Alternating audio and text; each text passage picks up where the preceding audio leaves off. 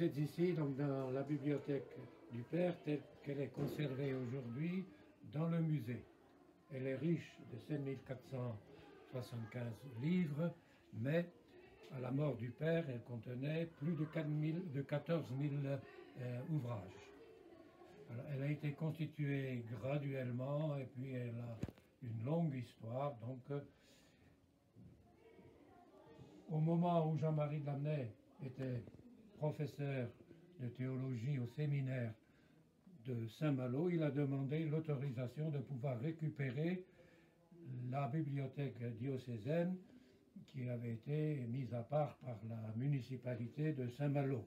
Il a eu toutes les autorisations voulues et donc c'est le départ de sa bibliothèque qui était déjà à ce moment-là, donc ça représentait 4000 à 5000 livres anciens. Ce sont d'ailleurs les ouvrages que l'on voit ici au bas des étagères. Et puis avec Félix, il a augmenté, Jean surtout, hein, sa bibliothèque jusqu'en 1836. À ce moment-là, la bibliothèque était entreposée à la Chênaie et non plus à Saint-Malo. Et Félix, qui avait besoin d'argent, s'est mis à emballer tous les livres pour les vendre à Paris à son profit. Jean-Marie Jean arrive sur les fêtes et dit Qu'est-ce que tu fais là? Un peu gêné, Jean-Marie, bon, je prends mes livres. Tes livres, ce sont nos livres. Et donc Jean-Marie, à ce moment-là, a récupéré dans les 7 à 8 000 livres qu'il, parmi les ouvrages qu'il considérait les siens. Et par la suite, jusqu'à sa mort, il a continué à alimenter sa bibliothèque. Il était très fier d'ailleurs de la montrer à ce moment-là à Ploermel euh, ou à tous les visiteurs qui, venaient. Et ces livres, il les achetait pour lui, il les lisait, il s'en imprégnait, il se tenait au courant de l'actualité, de l'histoire, de la théologie. Euh, ce qui fait qu'on peut considérer Jean-Marie de Lamennais comme un, grand intellectuel. Je passe en 1903-1904. Ce sont les expulsions des congrégations religieuses de leur communauté.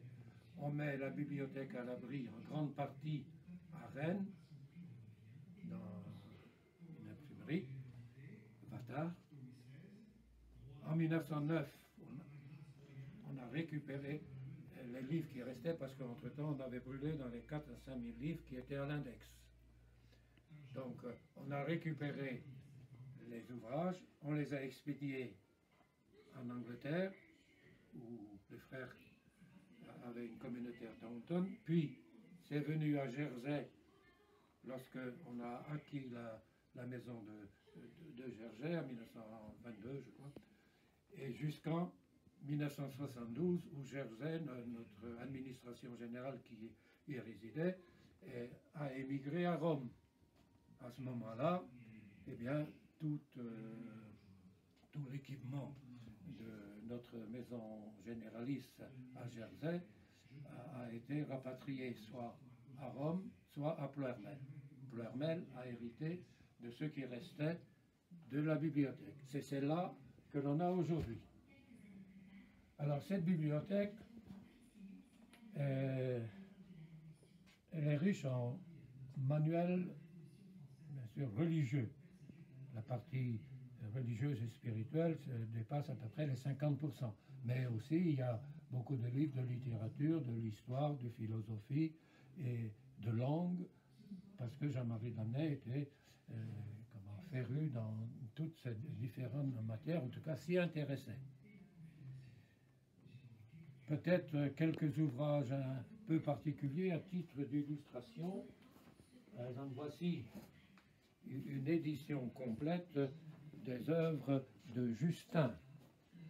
Et vous pouvez avoir une idée, cette page est entièrement en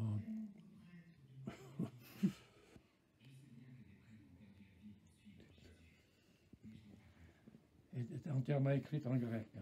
Bon, Et il y a l'autre partie qui est en latin. Vous avez par exemple les œuvres de Saint-Augustin. Tout, tout, le bas de l'étagère, euh, c'était les éditions du temps. Aujourd'hui, tout ça tient en un, en un gros volume, euh, tout simplement. Autre ouvrage que nous possédons, par exemple ici un missel, un livre de prière, euh, de 1520 et quelques, vous voyez, qui est assez, quand même bien illustré, et qui montre qu'à l'époque on faisait de belles choses. On peut même signaler, mais ça, ça ne faisait pas partie de la bibliothèque du Père. On a un incunable dans la bibliothèque, c'est-à-dire un ouvrage qui date d'avant l'année 1500. Euh, je crois que c'est un, livre de langue français, français latin, au moins le, premier livre qui est là-dedans, parce qu'il y a, y, trois ouvrages qui ont été reliés dans, le même volume. Voilà des choses donc, que, nous avons. Et la bibliothèque est donc euh, visible dans le parcours du musée.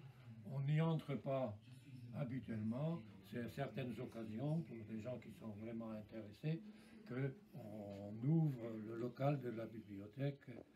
Voilà. On pourrait ajouter bien d'autres choses, bien sûr. Hein, Merci, frère Louis.